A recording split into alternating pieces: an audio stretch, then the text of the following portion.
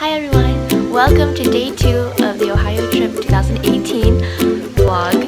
And today we are going to be doing some fun things. Um, I don't really know what we're doing though, but it has snowed outside, so maybe we'll do something in the snow. You can see it. Sorry, it's kind of bad focus, but anyway. Um, so we can we'll see what today brings.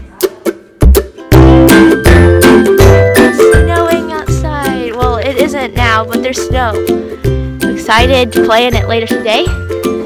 Maybe in a few hours or so. And when the cousins come. So, yeah.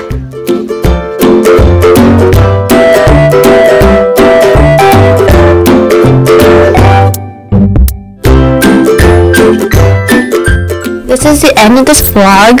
I hope you guys enjoyed it. Thanks for watching. Please check back tomorrow for a new vlog.